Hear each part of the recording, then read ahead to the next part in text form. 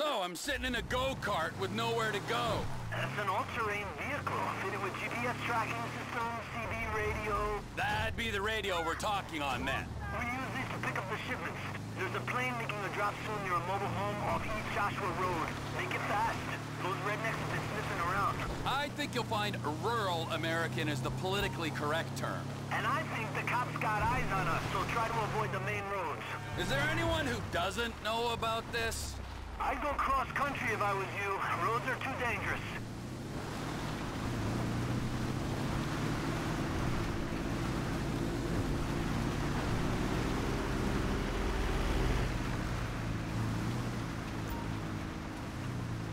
Okay, I have the package.